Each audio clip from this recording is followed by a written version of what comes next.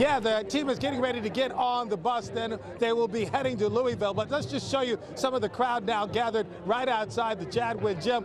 These are the fans, Princeton Tiger fans. They out here, they got their placards saying, let's go Tigers. The balloons are all out, orange and black. They're waiting for the team to actually walk across this area. They'll walk through here before they get ready to get onto the bus. But plenty of excitement out here this afternoon as they wait for their team ready to go ahead and show all of the support for the men's basketball team here. Now, they were out on the court this morning going through their final workout in the Jadwin gym before they head to Louisville for that big game against Creighton on Friday night. They worked on some drills, seemed to be very relaxed for a bunch of young men getting ready to have the biggest college basketball game of their careers. They got here by defeating both Arizona and Missouri.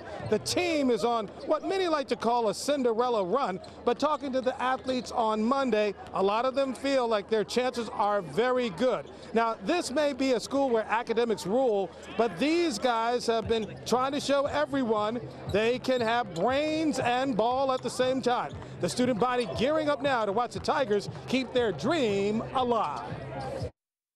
They've made all of athletics and all the students on campus pretty happy and excited about, um, like being proud about being a Tiger in general. So it's pretty awesome, and, and I, ho- I hope that they make it to the Elite Eight and, and onwards to the Final Four as well. I mean, one match at a time, but they've proven that um, anything is possible, and they play with courage, and it's a pretty exciting time. Or something. All right, the fans are ready to cheer. Go ahead.